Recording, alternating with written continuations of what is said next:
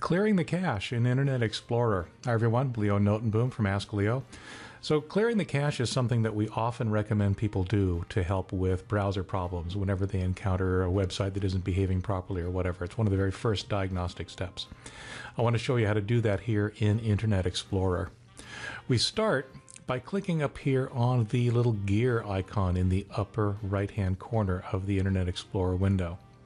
Click on Internet Options and in the resulting General tab, in case it comes up with a different tab, click on in Browsing History the Delete button. Now you'll have several different options of things to delete.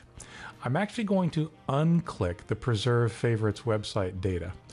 You'll notice that this actually says something about keeping temporary internet files for some of your websites. I want to delete all of it.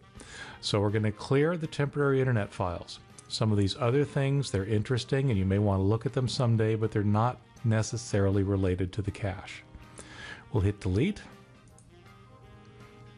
You can see we got a little status message down here that says we're done because we are done. We have cleared the cache in Internet Explorer.